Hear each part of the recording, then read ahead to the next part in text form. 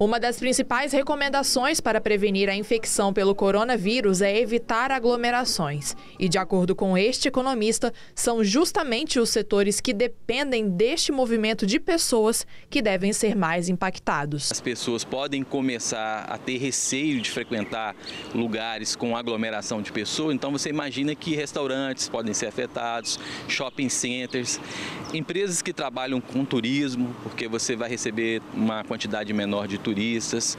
É, então você tem também indústrias que às vezes dependem de componentes eletrônicos que são importados da China ou de outros lugares que já estão é, tendo dificuldade de trazer esses produtos. Ele diz que até mesmo o PIB pode sofrer uma queda depois das medidas adotadas contra o novo vírus. Tem estimativas que foram apresentadas pelo Ministério da Economia de que num pior cenário a gente teria uma redução de 1% no PIB do país, um ponto percentual no PIB do país, isso dá algo em torno de 20 bilhões de reais, que é um, um montante significativo, mas essas estimativas do Ministério da Economia, elas traçam um cenário que a depender do prolongamento da crise, a gente pode transformar esse crescimento que está positivo até num quadro negativo. Então, realmente é uma situação preocupante, mas é importante que a gente encare fazendo, adotando né, as políticas econômicas corretas para poder passar por esse momento. Além disso, o Espírito Santo, que tem uma economia que depende do mercado externo, é um dos estados que podem ser mais prejudicados pelo coronavírus. Ontem a gente teve o anúncio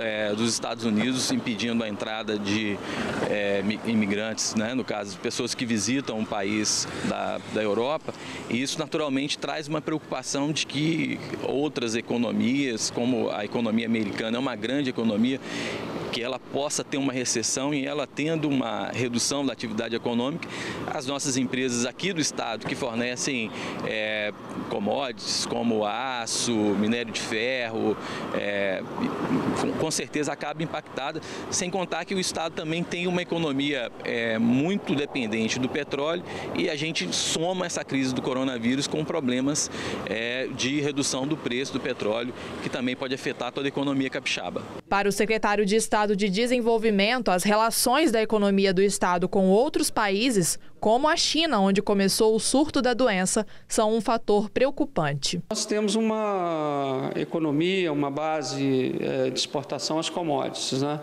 Então, realmente, se você diminui o consumo, você diminui essas exportações, e aí tem também um impacto na questão da movimentação portuária, fretes, enfim.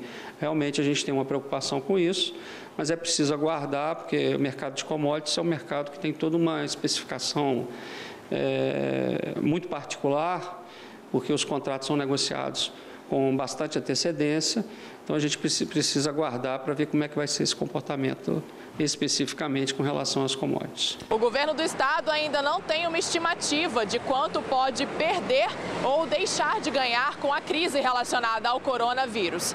Mas a expectativa é de que o estado se recupere, porque essa crise acontece no início do ano. Mas isso depende de ações mais efetivas do governo federal. Estamos ainda no primeiro trimestre, né? nem acabamos o primeiro trimestre do ano. Então, se medidas urgentes, como nós falamos aqui, é, com relação ao governo federal, a exemplo de outros países, forem adotadas, é, possivelmente nós vamos recuperar a economia, é, temos tempo para isso, não é? é? e é isso que nós estamos aguardando.